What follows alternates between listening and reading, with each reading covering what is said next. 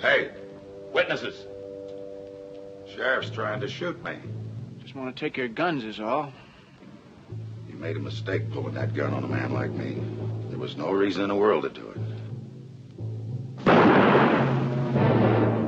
Fonda as the bounty hunter who wore the invisible badge of dishonor that set him apart from other men. Perkins as the young sheriff who wore a dangerous badge that set him apart too. The tin star that this stranger had thrown into the dust through the bitterness of betrayal. You told me you wore a badge like this one once.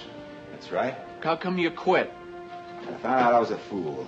She was an outcast too, the light-haired girl whose son had the dark skin of his Indian father. I don't care what any of them say. The more they're against me, the more I'll stand up for Kip. It's the same with me. When you try to run me out, I gotta stay. Unforgettable characters in a story of new dramatic dimensions.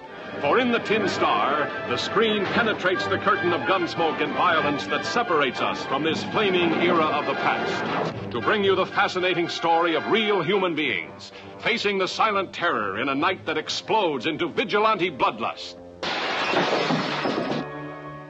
Bring out your prisoner, Sheriff. My prisoners is going to be tried fair, Bogardus.